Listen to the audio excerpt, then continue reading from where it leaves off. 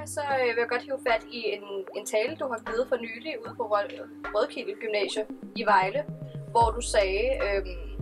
at den her konflikt, den er omgivet af en masse kontrovers, men øh, den er ukompliceret og ukontroversiel. Og hvad mener du egentlig med det? Det er selvfølgelig sat en lille smule på spidsen, fordi jeg skulle give en brandtale til en øh, gruppe elever om konflikten. Men øh, jeg mener, at, at der er en grundlæggende, i hvert fald et element af rimelighed og sandhed i den påstand. Nemlig at på trods af, at konflikten er omgivet af enormt meget kontrovers, på trods af, at konflikten bliver karakteriseret som værende ekstremt kompliceret, at det er svært at tage stilling til, medmindre man kender alt i konflikten og konflikthistorien. At den rent faktisk er så kompliceret og følelsesladet, at det kræver det ekvivalente af en psykiater og en øh, raketforsker at penetrere konfliktens mysterier. At den er så kompliceret, at vi ikke kan tildele øh, hvad hedder de, øh, øh skyldspørgsmål, øh, og man er nødt til at øh, dele sol og vand lige, så det altid går op i en øh, selvophøjende øh, øh, neutral helhed. Øh, og det mener jeg er grundlæggende forkert, fordi den her konflikt her, sammenlignet med en stribe andre konflikter, vi kan bare tage udgangspunkt i de meget nyere konflikter, som hersker i Mellemøsten, blandt andet i Syrien og Irak, men så afgør det også alle mulige andre steder. Sammenlignet med alle de her konflikter, er den israelsk-palæstinensiske konflikt bemærkelsesværdigt ukompliceret, enormt nem at forstå, og uanset hvem man snakker med, der har tilbragt øh, øh en måned på at sætte sig ind i konflikten, eller en eftermiddag på øh, internettet, øh, er alle sammen med Israel-Palæstina-eksperter med, øh, øh, med i hvert fald øh, en af tre forskellige former for øh, løsningsmodeller til, hvad konflikten, den, hvordan konflikten sidst på dagen skal løses. Der er ingen, inklusiv eksperterne, inklusive de mest vidende mennesker, som kigger på, hvad der sker i Syrien i dag, eller som kigger på øh, konflikten i Irak i dag, og som kan diske op med en løsning på konflikten, eller som kan komme ned til bunds i, hvad det, hvornår startede den, hvad drejede det sig om, hvad skal den slutte med, og så fremdeles. Den israelsk-palæstinensiske konflikt, en af grundene til, at den optager så mange mennesker, en af grundene til, at der er så mange aktivister tilknyttet til den, er fordi, at den er bemærkelsesværdig enkel. Den her øh, øh,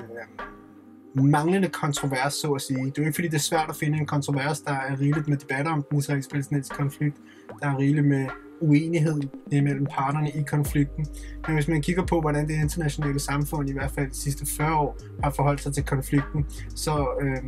er der en, øh, et internationalt konsensus-synspunkt, eller konsensus-synspunkter om mange af konfliktens elementer. Det er ikke tilfældet med en række andre konflikter, som man kigger på i verden, som virkelig deler hvad hedder det, vandene enormt meget. Vi kigger på, hvordan den øh, FN's generalforsamling for eksempel har forholdt sig til konflikten, den israelsk-palæstinensiske konflikt øh, siden 1989, så har det været tilfældet, at vi har haft en international konsensus om de principper og parametre, der ligger til grund for at løse konflikten. Vi taler så om, at vi har hele verden på den ene side, og et fortal af ganske, ganske få stater på den anden side. Hvis konflikten var så kontroversiel og kompliceret at forstå, så er det jo et underligt faktum, at vi kan have så bred en enighed i det internationale samfund om, hvad konflikten går ud på, og hvilke parametre og principper, der skal til for at løse det.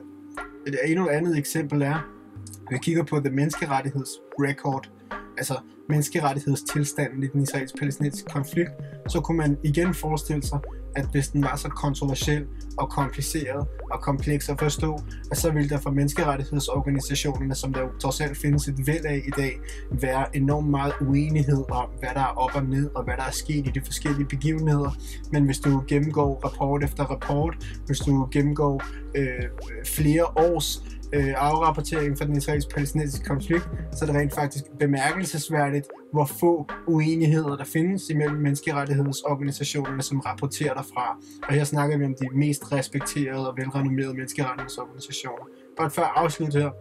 så kigger på det juridiske aspekt af konflikten.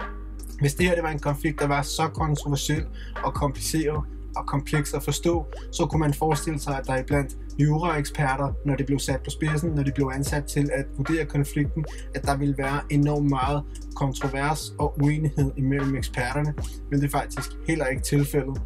Øh, I 2004, der øh, udgav den internationale domstol en, øh, autoritativ udlægning af loven på området i en retsvurdering, øh, i hvilken 15 ud af 15 dommer var enige om øh, hvad det, de juridiske aspekter af konflikten. Øh, her havde vi 15 og 15 dommer, der mente, at Gaza, Vestbredden og Østjerusalem var besat palæstinensisk territorium, at det, der hedder Genève-konventionerne, gælder i de besatte palæstinensiske territorier, at øh, palæstinenserne har et retskrav på selvbestemt. Øh, muren, som Israel har bygget, hvoraf 80% af den mur befinder sig på det besatte Vestbredden, at den er ulovlig på grund af sin placering. Øh, det var 14 ud af 15 dommer, der mente, at muren var ulovlig, øh, og uenigheden var i virkeligheden meget minimal. Så hvis man kigger på den her rapport her, en temmelig grundig rapport, øh, hvad hedder det, som er udarbejdet af 15 øh, internationale dommer, så kunne man forestille sig, hvis konflikten var kontroversiel, kompliceret og kompleks at forstå, at der i hvert fald var en 50-50 fordeling mellem de juridiske eksperter. Men det er der ikke. En af grundene til, at vi opfatter den her konflikt som værende så kontroversiel og så kompleks og kompliceret at forstå, hænger sammen med, at meget af den her kontrovers er oppisket, den er bundfalsk, og det er noget, som man har øh, indskudt i konflikten, øh, ganske enkelt for at øh, få den til at fremstå mere kompliceret end den realiteten, end, end hvad den i realiteten er. Hvem tror du har en interesse i, at den skal fremstå